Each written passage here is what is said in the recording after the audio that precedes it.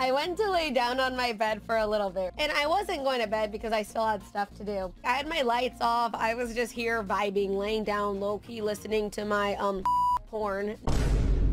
Not nothing. I don't know how I did. I wasn't. Okay, let me just preface. I wasn't doing anything. Chat yeah, boy. Shut the fuck. Chat. Shut up. Chat. I swear to God.